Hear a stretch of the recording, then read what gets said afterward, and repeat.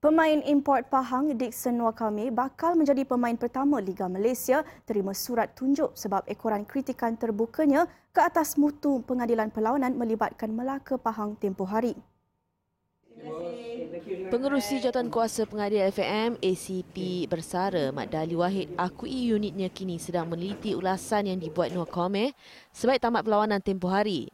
Noah Kwame yang tempelak mutu pengadilan yang masih ditakut lama anggap pengadil perlawanan Wan Tarmizi Wan Ibrahim tidak jalankan tugas dengan sempurna. Saya akan bawa perkara ini kepada sekretariat dan kita akan siasat perkara ini dulu dan saya baca memang saya baca benda tu tapi uh, saya akan cek balik kita akan tengok video tu dan saya uh, nak kaji uh, yang betulnya dan sekiranya perkara tersebut memang dia menyatakan perkara tersebut kita akan sekretariat akan hantar surat amaran juga. Surat tunjuk sebab. Surat tunjuk sebab masih belum dikeluarkan FAM namun Dali akui akan berbuat demikian dalam masa terdekat.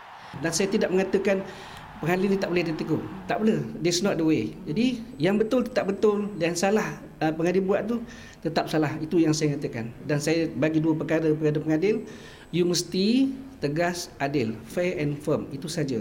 Terdahulu dua jurulatih Liga Super iaitu B. Setenaden dan Abu Bakar Fazim sudah diberi surat tunjuk sebab oleh FAM berhubung kritikan mereka ke atas pengadil selepas perlawanan.